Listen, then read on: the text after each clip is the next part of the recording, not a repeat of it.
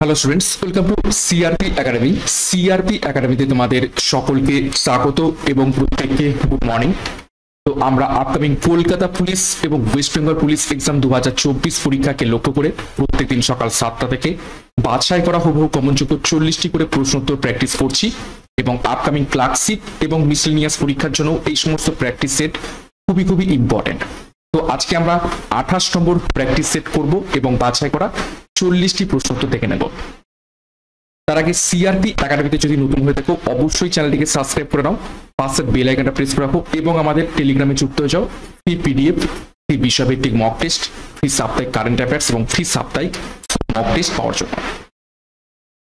তো যাই হোক আজকে ক্লাসে যে গুরুত্বপূর্ণ চল্লিশটা প্রশ্ন তো রয়েছে, সেগুলো এবারে এক এক করে দেখে নেব। দেখো, এক নম্বর প্রশ্ন, প্রথম প্রশ্ন, আন্তর্জাতিক সাক্ষরতা দিবস। পালন করা হয় নিচে কোন তারিখে? প্রত্যেকটা প্রশ্ন চলাকালীন নিজেরাই চেষ্টা করবে সঠিক উত্তরগুলো কমেন্ট বক্সে কমেন্ট করার। তারপর আমার উত্তরের সাথে মেলানোর চেষ্টা করবে, তোমাদের উত্তরগুলো মিলছে কি? তো সঠিক উত্তর হবে অপশন এ আটই সেপ্টেম্বর। দু নম্বর প্রশ্ন দু হাজার চব্বিশ প্যারিস অলিম্পিকে কোন খেলায় স্বর্ণপদক জিতেছেন নবদীপ সিং?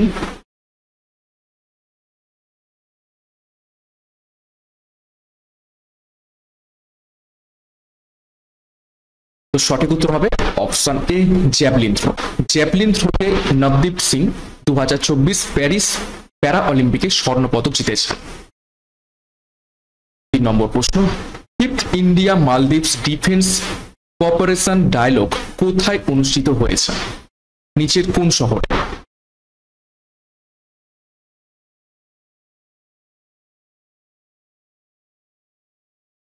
সঠিক উত্তর হবে অপশন বি নিউ দিল্লিতে নেক্সট চার নম্বর প্রশ্ন, সম্প্রতি প্রয়াত লুইস অ্যালা কোন খেলার সঙ্গে যুক্ত ছিলেন? অপশনগুলো পড়েনি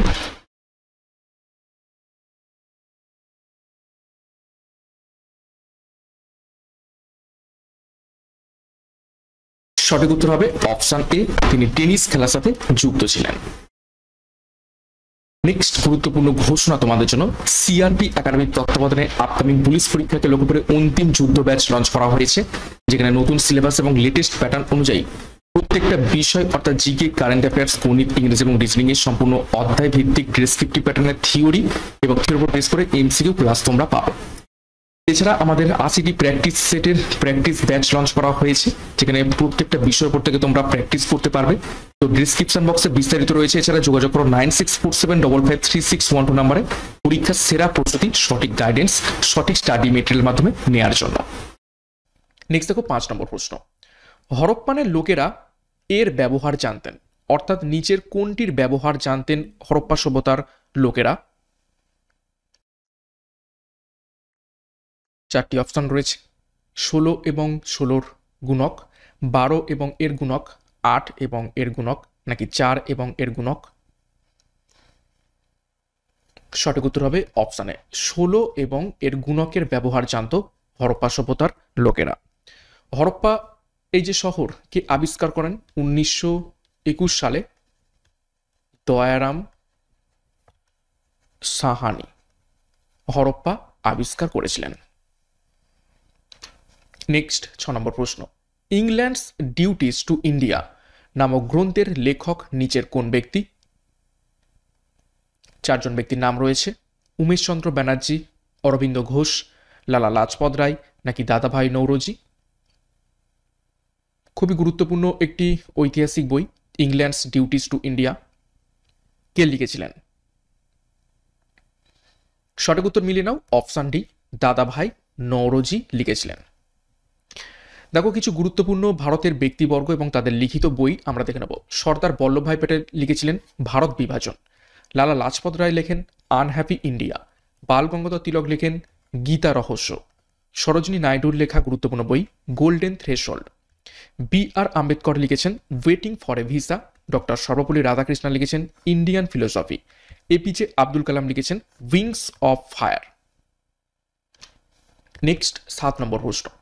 ভারতের সংবিধান রচনা করতে মোট কতদিন সময় লাগে?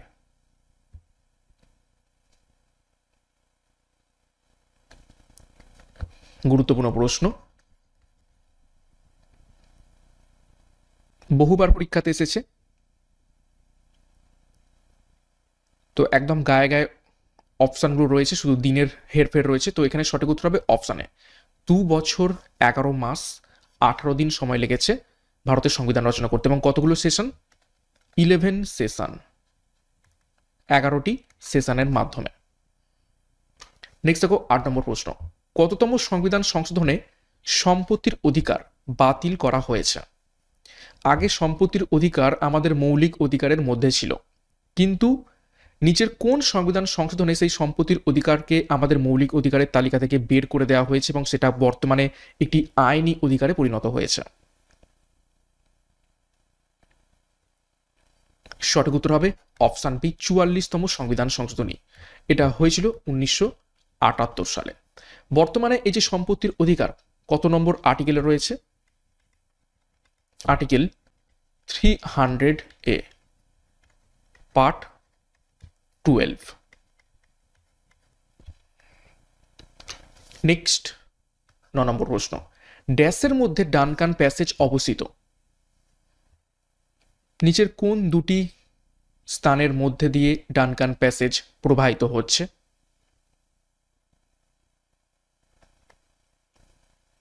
সঠিক উত্তর করার চেষ্টা করো। সঠিক উত্তর হবে, দেখে নাও, অপশান বি, দক্ষিণ আন্দামান এবং ক্ষুদ্র আন্দামানের মধ্য থেকে ডানকান প্যাসেজ প্রবাহিত হচ্ছে।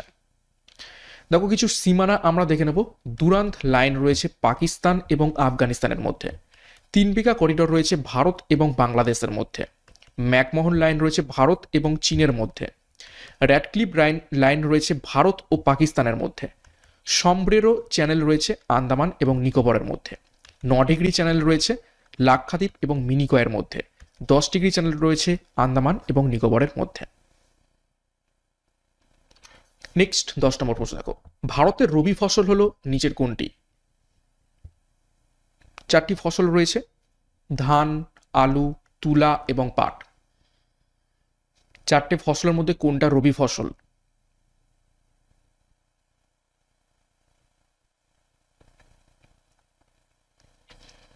এখানে সঠিক উত্তর হবে অপশান বি।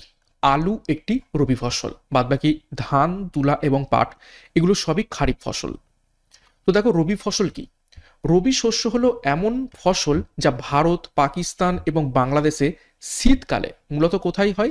শীতকালে বপন করা হয় এবং বসন্তকালে কাটা হয়। ভারতের প্রধান রবি শস্য হলো যেমন গম, তারপরে বার্লি, সরিষা, তিল এবং মটর। আর খারিফ ফসল কি? খারিফ ফসল দেখে নাও।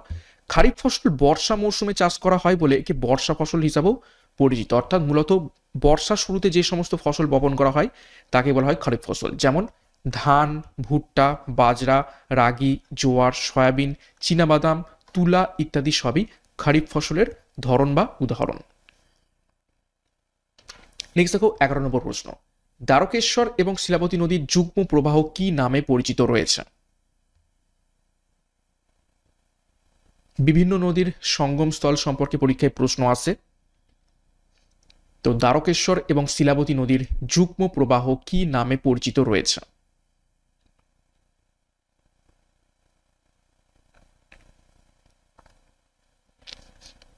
সঠিক উত্তর হবে অপশান বি, রূপনারায়ণ, নদী নামে পরিচিত রয়েছে। দেখো কিছু গুরুত্বপূর্ণ নদীর নাম এবং তাদের সঙ্গমস্থল কি নামে পরিচিত একটু দেখে নেব। অলকানন্দা এবং ধৌলিগঙ্গা বিষ্ণু প্রয়াগ নামে পরিচিত, অলকানন্দা এবং সরস্বতী কেশব প্রয়াগ নামে পরিচিত, অলকানন্দা এবং নন্দাকিনী নন্দ প্রয়াগ নামে পরিচিত, অলকানন্দা এবং পিণ্ডার কর্ণ প্রয়াগ নামে পরিচিত, অলকানন্দা এবং মন্দাকিনী রুদ্র প্রয়াগ নামে পরিচিত অলকানন্দা এবং ভাগীরথী নদীর সঙ্গমস্থল দেবপ্রয়াগ নামে পরিচিত রয়েছে। বারো নম্বর প্রশ্ন। ভারতের দ্বিতীয় জনবহুল জেলা সেন্সাস দুহাজার এগারো অনুসারে নিচের কোনটি? স্টারমার্ক করবে। খুবই বাছাই করা, হাই লেভেল এবং স্ট্যান্ডার্ড প্রশ্ন উত্তর করছি। Upcoming clerkship, food SI miscellaneous এবং ওয়েস্ট বেঙ্গল এবং কলকাতা পুলিশের জন্য। প্রত্যেক দিন ফলো করতে থাকো প্র্যাকটিসটা কিন্তু অনেক হবে। সঠিক উত্তর হবে অপশান বি উত্তর চব্বিশ পরগনা ভারতের দ্বিতীয় জনবহুল জেলা সেন্সাস দু অনুসারে। তেরো নম্বর প্রশ্ন, দুই খণ্ড বরফকে একত্রে চাপ দিলে জোড়া লাগে, এর কারণ কি? দেখো সায়েন্স থেকে কিছু গুরুত্বপূর্ণ প্রশ্ন উত্তর দেখব। দুই খণ্ড বরফকে যদি আমরা একত্রে চাপ দিই, তাহলে বরফ দুটো জোড়া লেগে যাবে। এর কারণ কি? চারটি অপশান। চাপ বাড়লে গলনাঙ্ক বৃদ্ধি পায়, চাপ বাড়লে গলনাঙ্ক হ্রাস পায়, চাপ কমলে গলনাঙ্ক হ্রাস পায়, নাকি কোনোটিই নয়? সঠিক উত্তর হবে অপশান বি। চাপ বাড়লে গলনাঙ্ক হ্রাস পেয়ে যায়। যে কারণে দুটো বরফ একত্রে চাপ দিলে সেই যে জোড়ার মুখে, সেখানে গলনাঙ্ক হ্রাস পেয়ে গেল, তো সেইখানে কি হবে? জায়গাটা জুড়ে যাবে। নেক্সট চোদ্দ নম্বর প্রশ্ন। জলের বাষ্পীভবনের লিন তাপ কত? বেশ কয়েকবার প্রশ্নটা পরীক্ষাতে এসেছে বিভিন্ন পরীক্ষাতে। তো স্টার মার্ক করবে, পরীক্ষায় আসতে পারে সায়েন্সের উপর থেকে। জলের বাষ্পীভবনের লিন তাপ কত? সঠিক উত্তর হবে অপশান বি। পাঁচশো সাঁত্রিশ ক্যালোরি পার গ্রাম। নেক্সট পনেরো নম্বর প্রশ্ন। ম্যাগনেসিয়ামের একটি আকরিক হলো নিচের কোনটি? চারটি অপশান রয়েছে, দেখো। জিপসাম ম্যাগনেটাইট ক্যালামাইন নাকি ডলোমাইট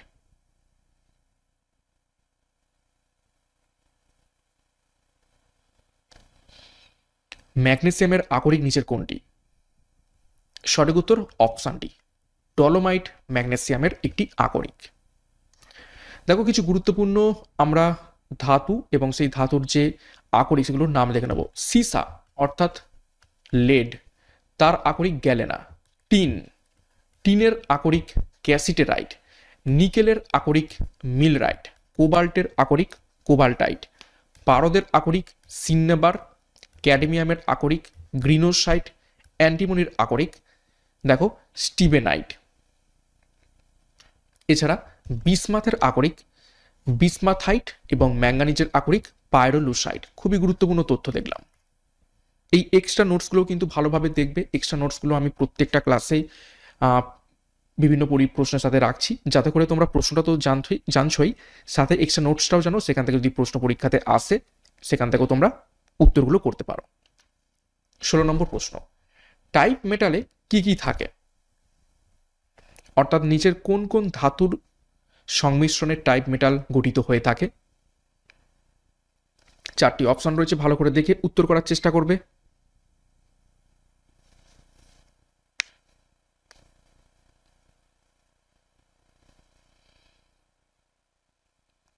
সঠিক উত্তর হবে অপশান বি লেড টিন এবং অ্যান্টিমনি এই তিনটি সংমিশ্রণে টাইপ মেটাল গঠিত হয়ে থাকে।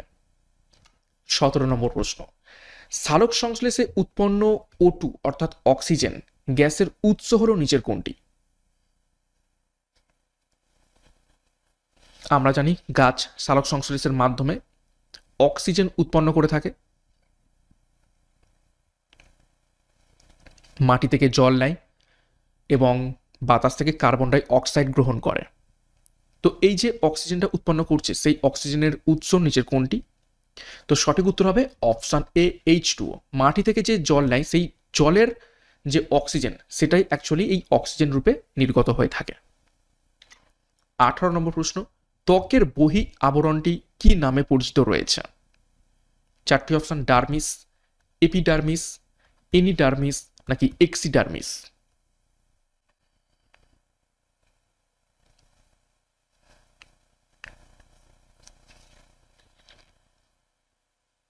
সঠিক উত্তর অপশান বি, এপিডার্মিস নামে পরিচিত রয়েছে ত্বকের বহির আবরণটি। উনিশ নম্বর প্রশ্ন দেখো, সোয়ান কোষ নিম্নলিখিত কোন অংশে দেখা যায়? চারটি অপশান, অ্যাকশন, ডেনড্রাইট, কোষ দেহ নাকি প্রান্তবুরুষ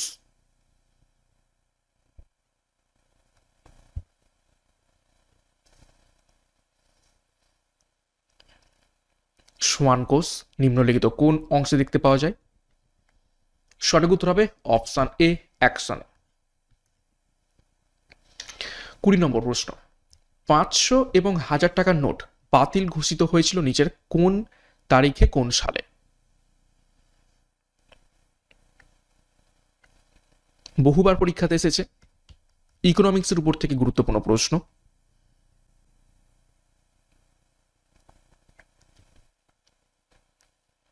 সঠিক উত্তর অপশানে আটই নভেম্বর দু হাজার ষোলো সাল।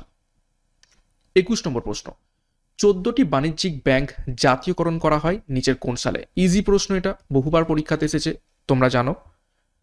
তো সঠিক উত্তরটা করে ফেলো, কিন্তু খুবই গুরুত্বপূর্ণ প্রশ্ন, বারবার প্রশ্নটা রিপিট করা হয়। চোদ্দটি জাতীয় মানে চোদ্দটি বাণিজ্যিক ব্যাংকে জাতীয়করণ করা হয় নিচের কোন সালে?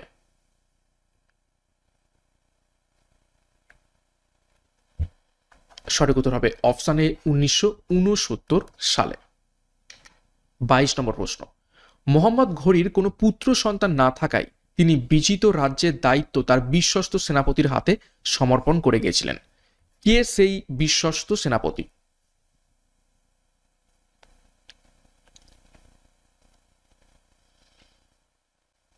মোহাম্মদ ঘড়ির কোনো পুত্র সন্তান না থাকে তিনি বিজিত রাজ্যের দায়িত্ব তার বিশ্বস্ত সেনাপতির হাতে সমর্পণ করে গেছিলেন। তো কে সেই বিশ্বস্ত সেনাপতি? চারটি অপশান।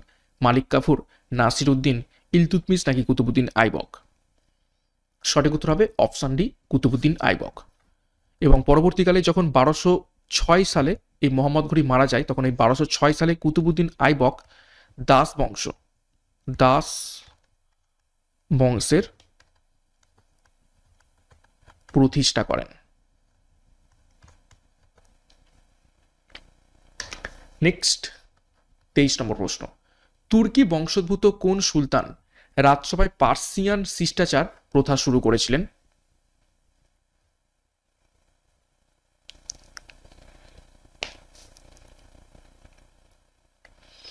নিচের কোন তুর্কি বংশোদ্ভূত সুলতান রাজসভায় পার্সিয়ান শিষ্টাচার প্রথা শুরু করেছিলেন? সঠিক উত্তর হবে অপশান এ গিয়াসুদ্দিন বলবন। দেখো ডিটেলসে পার্শ্বিক দৃষ্টান্ত অনুসরণ করে বলবান দরবারে পাইবস পাইবস কথার অর্থ কি? সুলতানের পায়ে চুম্বন করা, তার শক্তি স্বীকার করা এবং সিজদা আরও একটি প্রথা যেটা হচ্ছে নতজানু হয়ে সম্রাটকে প্রণাম করা। এই দুটো প্রথা চালু করেন। পরীক্ষায় ঘুরিয়ে প্রশ্ন আসতে পারে যে সিজদা এবং পাইবস এই দুটো প্রথা কে চালু করেছিলেন? সঠিক উত্তর হয়ে যাবে তখন গিয়াসুদ্দিন বলবন। এবং তিনি ছিলেন প্রথম যিনি ভারতে পার্সিয়ান উৎসব নওরোজ ফেস্টিভ্যাল চালু করেন। এখন বর্তমানে এই নওরোজ ফেস্টিভ্যাল কোথায় দেখতে পাওয়া যায়? জম্মু অ্যান্ড কাশ্মীরে দেখতে পাওয়া যায়। পরীক্ষায় এখান থেকেও প্রশ্ন আসে নেক্সট দেখো চব্বিশ নম্বর প্রশ্ন। প্রথম রাজ্যসভা কোটি কবে গঠিত হয়?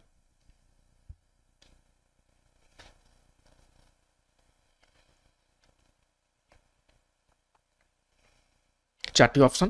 উনিশশো তিপান্ন উনিশশো বাহান্ন, উনিশশো একান্ন, উনিশশো আবার বাহান্ন সালের ডিসেম্বর। মাসগুলো একটু এদিক ওদিক রয়েছে। তো এখানে সঠিক উত্তর হবে অপশান সি। উনিশশো একান্ন সালের ডিসেম্বর মাসে প্রথম রাজ্যসভা গঠিত হয়। পঁচিশ নম্বর প্রশ্ন লোকসভার সদস্য হতে গেলে কমপক্ষে কত বছর বয়স্ক হতে হবে? প্রত্যেকটা বিষয়, প্রত্যেকটা বিষয়ের প্রত্যেকটা টপিক থেকে প্রশ্নোত্তর রাখছি, প্রত্যেকটা সেটে তো প্রত্যেক দিন ফলো করতে থাকো। তো লোকসভার সদস্য হতে গেলে কমপক্ষে কত বছর বয়স হতে হবে? সঠিক উত্তর হবে অপশান বি পঁচিশ বছর মিনিমাম হতে হবে লোকসভার সদস্য হতে গেলে। দেখো, বিভিন্ন পদের নাম, তার ন্যূনতম বয়স এবং সর্বোচ্চ বয়স সীমা। দেখো, রাষ্ট্রপতি হতে গেলে ন্যূনতম হতে হবে পঁয়ত্রিশ বছর ঊর্ধ্বসীমা নেই। রাষ্ট্র উপরাষ্ট্রপতি হতে গেলে পঁয়ত্রিশ বছর ন্যূনতম বয়স হতে হবে, সর্বোচ্চ বয়স কোনো নেই। রাজ্যপাল হতে গেলেও পঁয়ত্রিশ বছর বয়স হতে হবে ন্যূনতম ঊর্ধ্বসীমা নেই। মুখ্যমন্ত্রী হতে গেলে পঁচিশ বছর বয়স মিনিমাম হতে হবে ঊর্ধ্বসীমা নেই। লোকসভার স্পিকার হতে গেলে পঁচিশ বছর ন্যূনতম বয়স হতে হবে ঊর্ধ্বসীমা নেই। লোকসভার সদস্য হতে গেলে পঁচিশ বছর যেটা আমরা প্রশ্নতে দেখলাম, এবং ঊর্ধ্বসীমা নেই। এছাড়া রাজ্যসভার যদি সদস্য হতে হয়, তাহলে ন্যূনতম বয়স লাগবে তিরিশ বছর, সীমা নেই ঊর্ধ্বসীমা এমএলএ হতে গেলে পঁচিশ বছর বয়স লাগবে, ন্যূনতম। ঊর্ধ্বসীমা নেই। এমএলসি হতে গেলে তিরিশ বছর মিনিমাম বয়স হতে হবে, ঊর্ধ্বসীমা নেই। পঞ্চায়েতের সদস্য হতে গেলে একুশ বছর প্রয়োজন, ঊর্ধ্বসীমা নেই এবং পৌরসভার সদস্য হতে গেলে একুশ বছর ন্যূনতম বয়স হতে হবে, ঊর্ধ্বসীমা বয়সের নেই। নেক্সট, ছাব্বিশ নম্বর প্রশ্ন। সংবিধানের কোন ধারা অনুযায়ী কোনো ব্যক্তি মৌলিক অধিকার লঙ্ঘনের অভিযোগে ব্যক্তিগতভাবে সুপ্রিম কোর্টের কাছে বিচার চাইতে পারে। ভিভিআই করবে।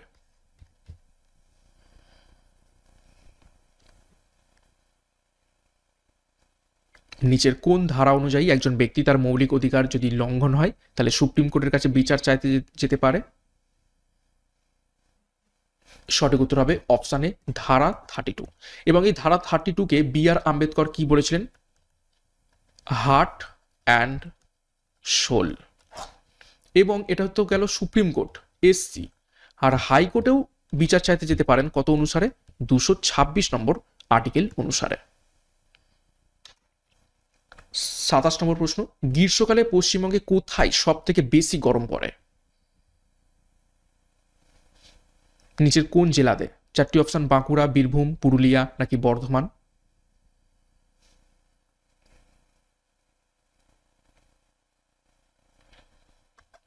সঠিক উত্তর হবে অপশান সি, পুরুলিয়াতে।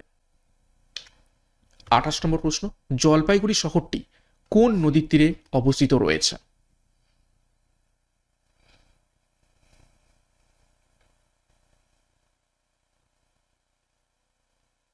আজকের যে সেট সেটা ইজি টু মডারেট রয়েছে। কিছু প্রশ্ন একটু হার্ড রয়েছে, কিন্তু পারা যাবে। তো সঠিক উত্তর হবে অপশানে তিস্তা নদীর তীরে রয়েছে জলপাইগুড়ি শহরটি। নেক্সট দেখো, কিছু গুরুত্বপূর্ণ পশ্চিমবঙ্গের শহর এবং কোন কোন নদ নদীর তীরে অবস্থিত একটু দেখে নেব। জলপাইগুড়ি শহরটি তিস্তা এবং করলা নদীর তীরে অবস্থিত। শিলিগুড়ি শহরটি মহানন্দা এবং বালাসন নদীর তীরে অবস্থিত। আলিপুরদুয়ার শহরটি কালাজানি নদীর তীরে অবস্থিত। কোচবিহার শহরটি তোরসা নদীর তীরে অবস্থিত। দুর্গাপুর শহরটি দামোদর নদীর তীরে অবস্থিত। কাটোয়া শহরটি ভাগীরথী নদীর তীরে অবস্থিত রয়েছে। এছাড়া ইলামবাজার শহরটি অজয় নদীর তীরে অবস্থিত। কৃষ্ণনগর শহরটি জলঙ্গি নদীর তীরে অবস্থিত, বোলপুর শহরটি কোপাই নদীর তীরে অবস্থিত রয়েছে। নেক্সট উনত্রিশ নম্বর প্রশ্ন, জনসংখ্যায় পশ্চিমবঙ্গের ক্ষুদ্রতম জেলা নিচের কোনটি?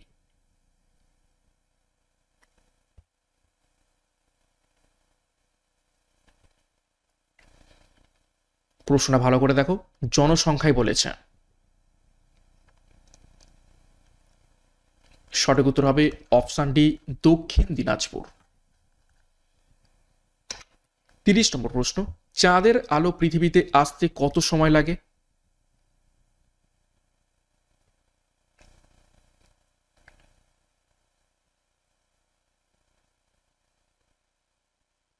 সঠিক উত্তর হবে অপশানে ওয়ান পয়েন্ট থ্রি সেকেন্ড। প্রশ্ন কি বলেছে? চাঁদের আলো।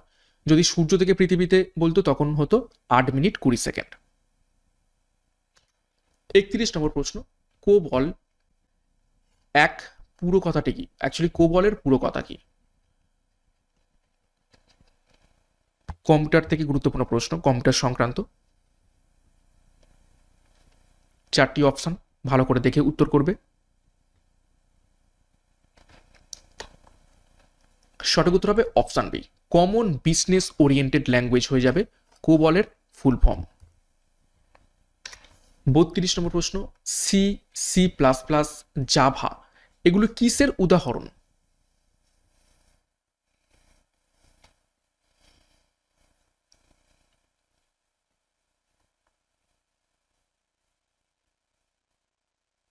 সঠিক উত্তর হবে অপশন সি প্রোগ্রামিং ল্যাঙ্গুয়েজের উদাহরণ। থার্টি থ্রি ইসিজি যন্ত্র আবিষ্কার করেন নিচের কোন বিজ্ঞানী? চারজন বিজ্ঞানীর নাম রয়েছে William Einthoven Stephen Hales, Robert Koch, William Morton. তো ইসিজি যন্ত্র কে আবিষ্কার করেন? সঠিক উত্তর হবে অপশান এ উইলিয়াম ইন্দভেন দেখো, কিছু গুরুত্বপূর্ণ আবিষ্কার এবং তাদের আবিষ্কর্তার ব্যাপারে দেখে নেব। ফাউন্টেন পেন আবিষ্কার করেন ওয়াটারম্যান, বল পেন আবিষ্কার করেন লাজলো বিরো এবং জে জে লাউড। ইলেকট্রন আবিষ্কার করেন জে জে টমসন, প্রোটন আবিষ্কার করেন রাদারফোর্ড, নিউট্রন আবিষ্কার করেন চ্যাডউইক, ডিনামাইট আবিষ্কার করেন আলফ্রেড নোবেল, আণবিক বোমা আবিষ্কার করেন অটো হ্যান। অক্সিজেন আবিষ্কার করেন জে প্রিস্টলি এবং হাইড্রোজেন আবিষ্কার করেন এইচ ক্যাভেন্ডিস। গুরুত্বপূর্ণ তথ্য। নেক্সট থার্টি ফোর পাষাণপুরী উপন্যাসটি কার রচনা করা?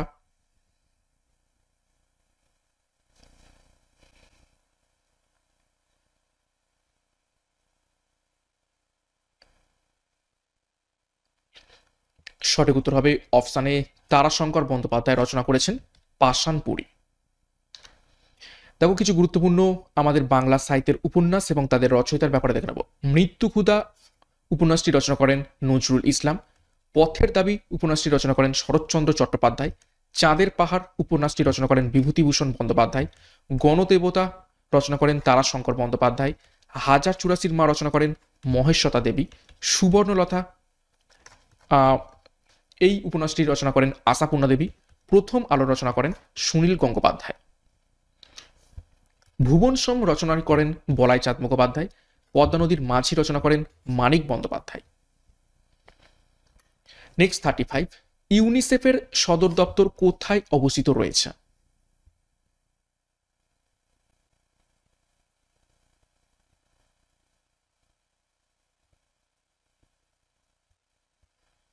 চারটি শহর New York, Geneva, Paris, Rome. তো ইউনিসেফের সদর দপ্তর অবস্থিত রয়েছে অপশানে নিউ ইয়র্কে। দেখো কিছু গুরুত্বপূর্ণ আন্তর্জাতিক সংস্থা এবং তাদের সদর দপ্তর, দেখে নেব। আন্তর্জাতিক আদালতের সদর দপ্তর হেগ শহরে অবস্থিত। ইন্টারপোলের সদর দপ্তর লিও শহরে অবস্থিত। এসিও ইউনিয়ন ব্যাংকের সদর দপ্তর মেট্রো ম্যানিলাতে অবস্থিত। আইসিসির সদর দপ্তর দুবাইতে অবস্থিত। ফিফার সদর দপ্তর জুরিফে অবস্থিত। কমনওয়েলথের সদর দপ্তর লন্ডনে অবস্থিত। ইউরোপিয়ান ইউনিয়নের সদর দপ্তর ব্রাসেলসে অবস্থিত রয়েছে। থার্টি সিক্স, নাগোয়া প্রোটোকল কোনটির সঙ্গে সম্পর্কযুক্ত?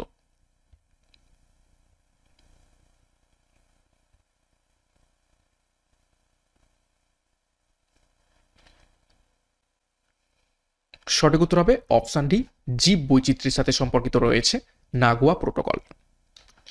দেখো, কিছু গুরুত্বপূর্ণ সম্মেলন আমরা দেখে নেব, পরিবেশ সংক্রান্ত। রামসার সম্মেলন শুরু হয়েছিল উনিশশো একাত্তর সালে।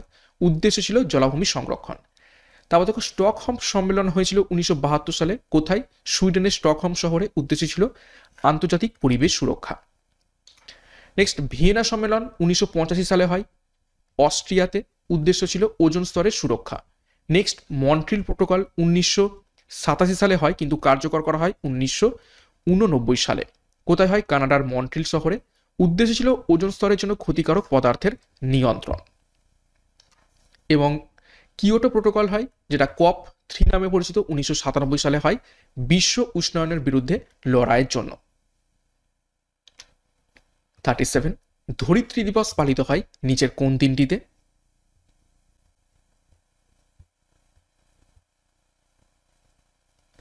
চারটি অপশন পাঁচই জুন, বাইশে এপ্রিল, ষোলোই সেপ্টেম্বর এবং বারোই মে। সঠিক উত্তর অপশন বি, বাইশে এপ্রিল। দেখো, কিছু গুরুত্বপূর্ণ দিবস সম্পর্কে একটু তথ্য থেকে নেই। ছাব্বিশে জানুয়ারি, আন্তর্জাতিক শুল্ক বা কাস্টমস দিবস। দোসরা ফেব্রুয়ারি, বিশ্ব জলাভূমি দিবস। আটই মার্চ, আন্তর্জাতিক নারী দিবস। পঁচিশে এপ্রিল, বিশ্ব ম্যালেরিয়া দিবস। একত্রিশে মে বিশ্ব ধূমপান দিবস বা তামাক মুক্ত দিবস। বারোই জুন বিশ্ব শিশু শ্রম প্রতিরোধ দিবস। আটত্রিশ নম্বর প্রশ্ন। আদ্দিস আবাবা যে দেশের রাজধানী, সেটি হলো নিচের কোনটি? চারটি দেশের নাম রয়েছে, দেখো, ঘানা, জাম্বিয়া, ইথিওপিয়া এবং কেনিয়া। কোন দেশের রাজধানীর নাম আদ্দিস আবাবা? সঠিক উত্তর, অপশান সি, ইথিওপিয়া। দেখো, কিছু গুরুত্বপূর্ণ দেশ এবং তাদের রাজধানীর নাম দেখে নেব। ইরানের রাজধানী তেহরান, ইরাকের রাজধানী বাগদাদ, ইসরায়েলের রাজধানী জেরুজালেম, কিরগিজস্তানের রাজধানী বিসকেক, কম্বোডিয়ার রাজধানী নমপেন, কুয়েতের রাজধানী কুয়েত সিটি, কাতারের রাজধানী দোহা। থার্টি নাইন, ভারতের সর্বপ্রাচীন ফুটবল প্রতিযোগিতা নিচের কোনটি? চারটি option IFA shield Santosh trophy, Rovers cup নাকি দুরান্ত কাপ? সঠিক উত্তর হবে অপশান ডি দুরান্ত কাপ ভারতের সর্বপ্রাচীনতম ফুটবল কাপ। দেখো ডিটেলসে আঠারোশো অষ্টআশি সালে অনুষ্ঠিত হয় ভারতের প্রাচীনতম ফুটবল প্রতিযোগিতা দুরান্ত কাপ। এটি বিশ্বের তৃতীয় প্রাচীনতম ফুটবল প্রতিযোগিতা এবং এফ এ কাপ এবং স্কটিশ কাপের পরেই এর স্থান। চল্লিশ নম্বর প্রশ্ন এবং আজকে ক্লাসের শেষ প্রশ্ন। কে তিনটি গোল টেবিল বৈঠকেই প্রতিনিধিত্ব করেন?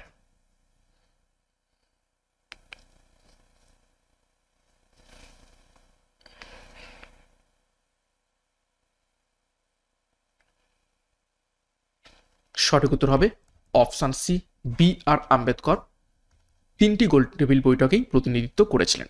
ওকে? তো এই ছিল গুরুত্বপূর্ণ চল্লিশটা প্রশ্ন উত্তর আজকে ক্লাসের মধ্যে। চল্লিশের মধ্যে কার কত স্কোর হয়েছে অবশ্যই কমেন্ট বক্সে কমেন্ট করে জানাবে এবং প্রশ্নপত্র আজকের কেমন ছিল সেই ব্যাপারেও মন্তব্য করবে। খুবই স্ট্যান্ডার্ড এবং হাই লেভেল প্রশ্ন উত্তর প্র্যাকটিস করছি প্রত্যেকটা টপিক থেকে, প্রত্যেকটা সাবজেক্ট থেকে, যাতে করে ওভারঅল প্রত্যেকটা টপিক তোমাদের কভার আপ হয় পরীক্ষার আগে। এবং প্রত্যেক দিন সকাল সাতটা থেকে এই ক্লাসগুলো ফলো করতে থাকো। এখান থেকে অনেক অনেক প্রশ্ন তোমাদের প্র্যাকটিস হবে এবং কভার হবে। ক্লাসটা শেষ করব। তার আগে আরও একবার গুরুত্বপূর্ণ ঘোষণা আমাদের অন্তিম যুদ্ধ ব্যাচ এবং প্র্যাকটিস ব্যাচ যার যেটি প্রয়োজন রয়েছে, সেই অনুযায়ী যুক্ত হয়ে যাও পরীক্ষা সেরা প্রস্তুতি নেওয়ার জন্য। এবং সিআরপি একাডেমিতে নতুন হয়ে থাকলে চ্যানেলটিকে সাবস্ক্রাইব করো, পাশে বেল আইকনটা প্রেস করে রাখো এবং টেলিগ্রামে যুক্ত হয়ে যাও। তো আজকের মতো ক্লাসটা এখানে শেষ করছি। প্রত্যেককে all the best thank you. Bye.